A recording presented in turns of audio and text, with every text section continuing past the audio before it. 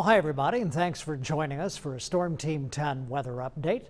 Through the nighttime hours tonight, we have this big, beautiful moon, but also some clouds that will be drifting around. So we do have some clouds out there tonight and maybe some little patches of fog here and there.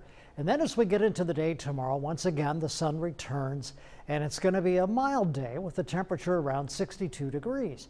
Now that's a little bit above the average high of 56. In fact, the remainder of this week will have temperatures above average for this time of year after a weekend where we've had frosts that got in and temperatures that got down into the 20s, which pretty much wiped out most of the vegetation. So not as cold tonight, patchy fog possible, 39 for the overnight low, becoming sunny and seasonally mild for the day tomorrow. And then mostly clear, little or no breeze tomorrow night. An overnight low of 40 degrees, gradually warmer. Wednesday 64, Thursday 69. Some showers and thunder showers, however, moving in for Friday.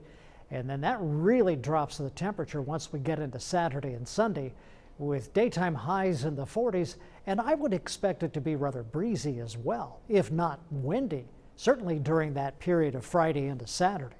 And then on Monday, the first part of next week, a temperature in the mid 40s, but a sunny sky.